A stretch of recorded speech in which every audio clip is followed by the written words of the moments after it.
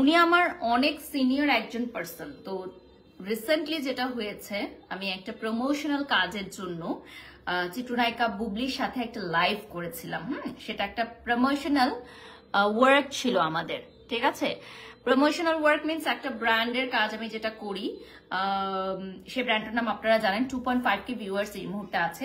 সেই ব্র্যান্ডের নামটা আপনারা অনেকেই জানেন। তো সেই ব্র্যান্ডের প্রমোশনাল ওয়ার্ক আমার সাথে ডিলিং ছিল যে তারা লাইভ করাবে আমাকে দিয়ে। তো সেদিন আসলে আমি নিজেও জানতাম না যে আজকে কার লাইভ করব আমি। যেমন এর আগেও আপনারা দেখেছেন পূজা চেরি এবং পরিমণির বার্থডে সেলিব্রেশনের লাইভ আমাকে দিয়ে করানো হয়েছে। তো সে, তারই ধারাবাহিকতায় আমাকে বলা হয়েছিল এবং আপনারা নিশ্চয়ই নোটিস করেছেন যে ওই দিন কিন্তু আমার ফেসে কোনো মেকআপ ছিল না। আমি জাস্ট আনজারাতে ছিলাম আমার ড্রেস পিক আপের জন্য। সো ওখান থেকে জাস্ট একটা কল আসে যে এখন একটা ইনস্ট্যান্ট লাইভ করতে হবে। তো আমি সত্যি কথা বলতে আমার এখনও প্রুভ আছে যে আমি আসলে জানতাম না যে বার্থডেটা কার হচ্ছে বা কি হচ্ছে। তো আমি ওখানে যখন লাইভে গেলাম দেন আমার যে কাজ সেটাই আমি করব ডেফিনেটলি হ্যাঁ পুরো ডিটেলসই বলব। তো একটু বলে দিই, আমাদের glow up glow up white এই ব্রাইটনিং নাইট ক্রিম এটার প্রাইস এন্ড ডিটেলসটা বলে দিচ্ছি কজ এখন অফার প্রাইস চলছে, ঠিক আছে? এখন চলছে হচ্ছে অফার প্রাইস এটার রেগুলার প্রাইস হচ্ছে আপনার দুই হাজার দুইশো টাকা, ঠিক আছে? এটার রেগুলার প্রাইস হচ্ছে দুই হাজার দুইশো টাকা three point two K viewers যারা আছেন, এটার অফার প্রাইস হচ্ছে মাত্র এক হাজার পাঁচশো টাকা, ঠিক আছে? মাত্র পনেরোশো টাকায় পেয়ে যাচ্ছেন।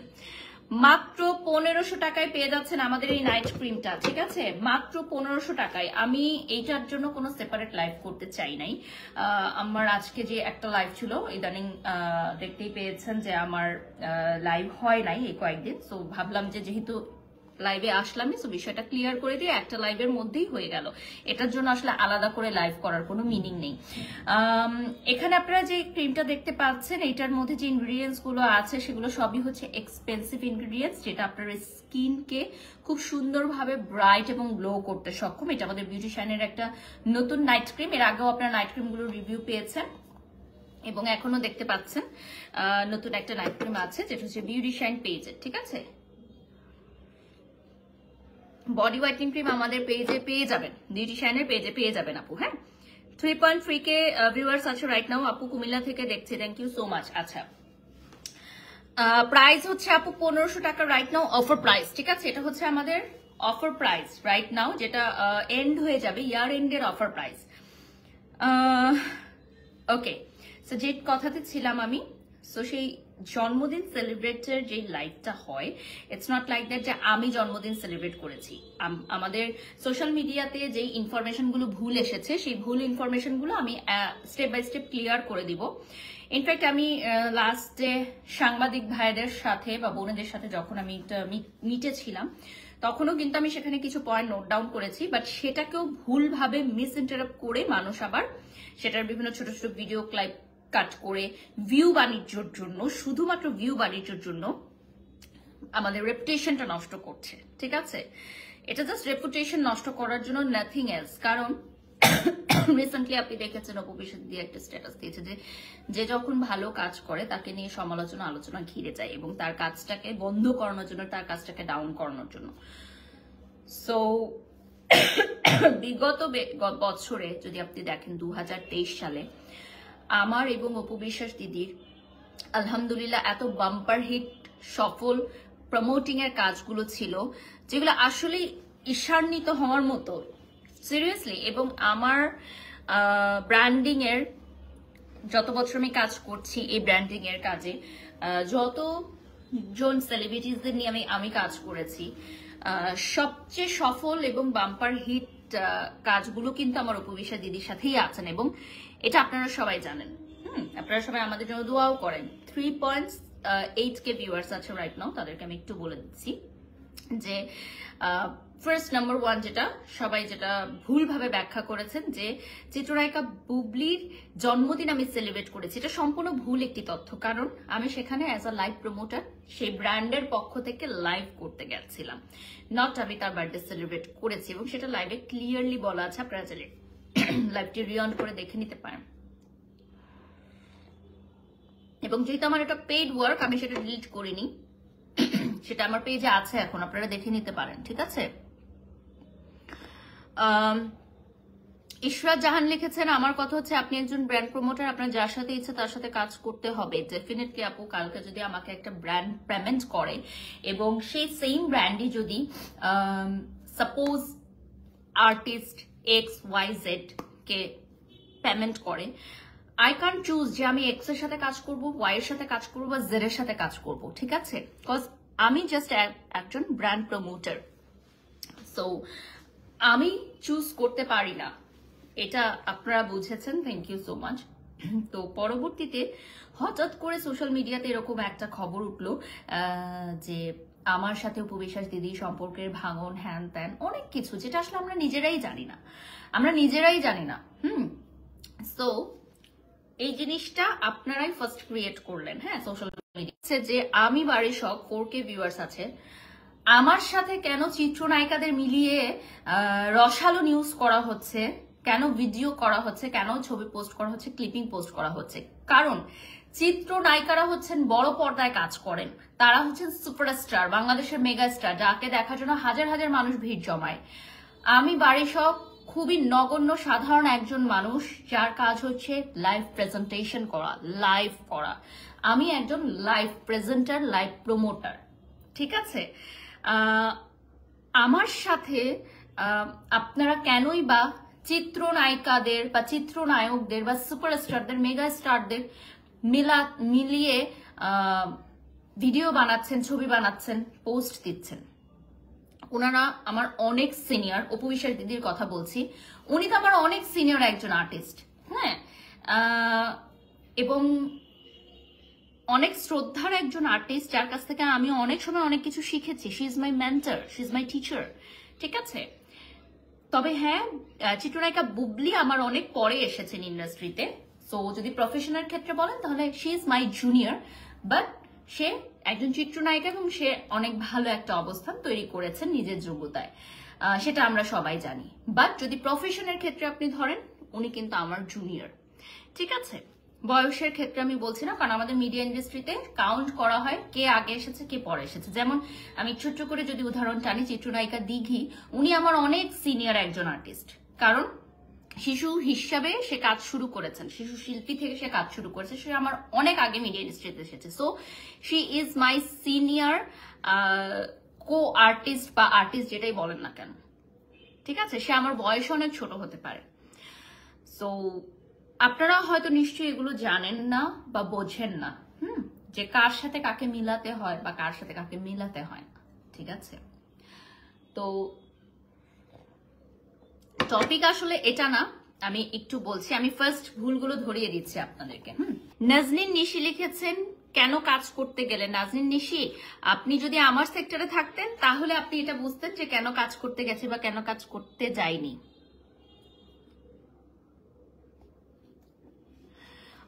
তানিয়া, আপনি কোথায় উপবেশার দিদিকে নিয়ে কথা বলেছি নেগেটিভ সেটা আমাকে পয়েন্ট আউট করে মার্ক করে দিবেন। আমি আবারও আপনাকে স্মরণ করে দিতে চাই, অপু বিশ্বাস দিদি, আমার অনেক সিনিয়র একজন আর্টিস্ট এবং শি ইজ আ সুপারস্টার তো তাকে নিয়ে কথা বলার মতো কোনো পজিশনই আমার নাই, ঠিক আছে?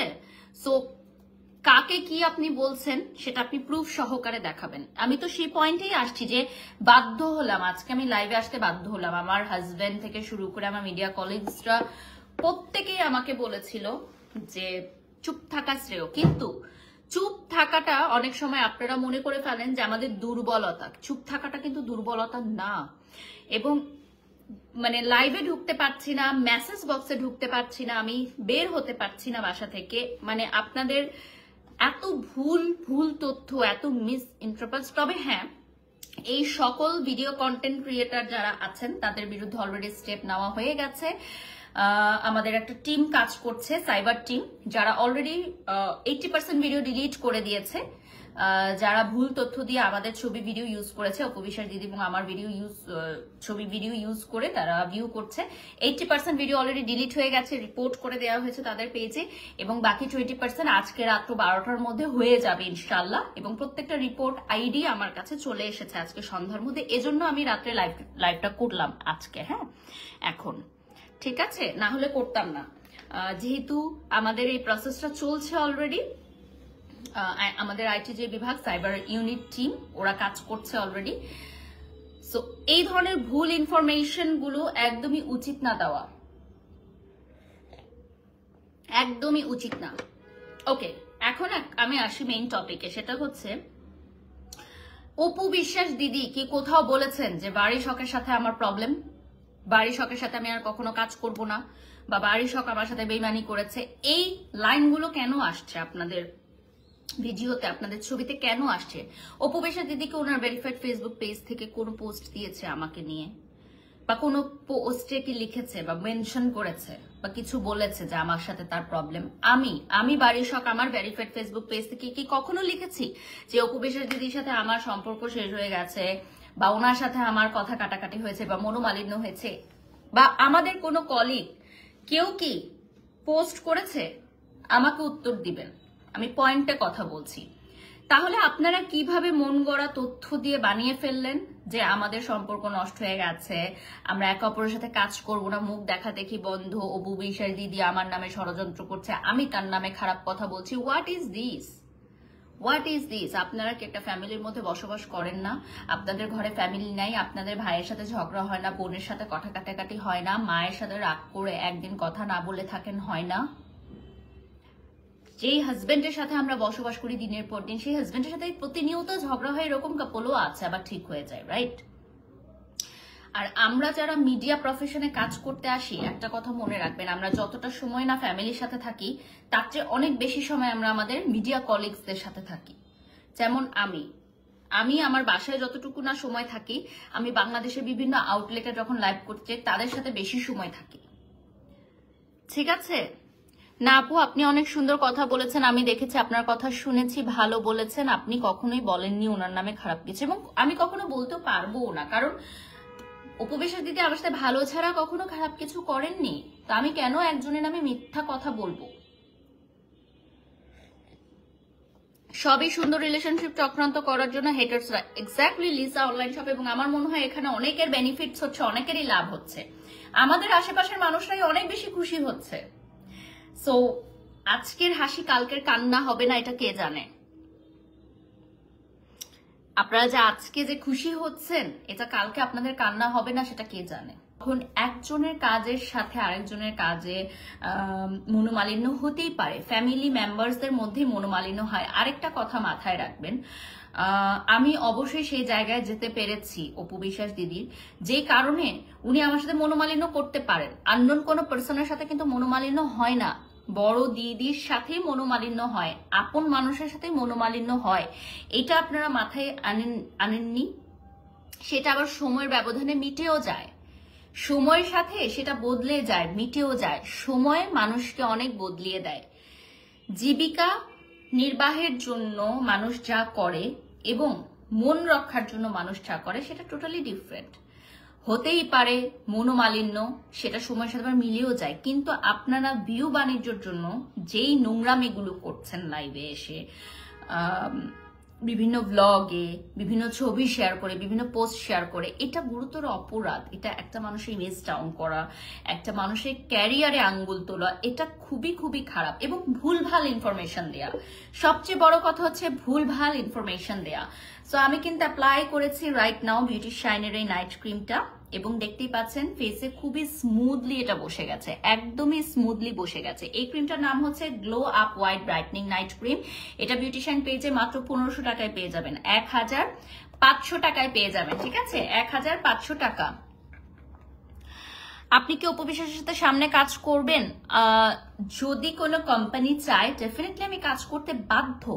এই নিউজটা আবার অন্যভাবে দেয়া হয়েছে। বাড়ি শখ বলেছেন উপবিশ্বাস তার সাথে কাজ করতে বাধ্য। হোয়াট ইজ দিস কেন আপনারা ভুল কথা লেখেন, ভুল ইনফরমেশন লেখেন?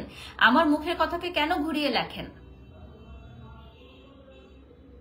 আমি বলেছি যে আমি বাধ্য কাজ করতে, যদি কেউ আমাকে কাজে নিতে চায়। সো ওই যে লাইভের শুরুতেই বললাম যে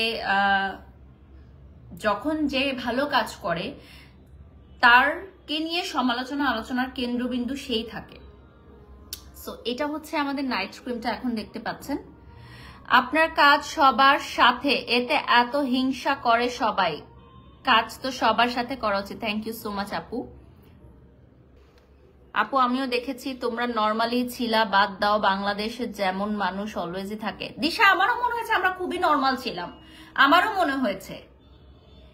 যদি সেই জায়গায় যেত সম্পর্ক, তাহলে তো একসাথে দাঁড়াতামই না লাইভে রাইট তাই না? সো আর সবচেয়ে বড় কথা হচ্ছে, আমি তো বাবা, কারও কোনো ক্ষতি করিনি। আমি কি কারও কোনো ক্ষতি করেছি? কারণ আমি কোনো বদনাম করেছি? এমন কোনো কাজ করেছি যেটা সমাজ একসেপ্ট করতে পারবে না?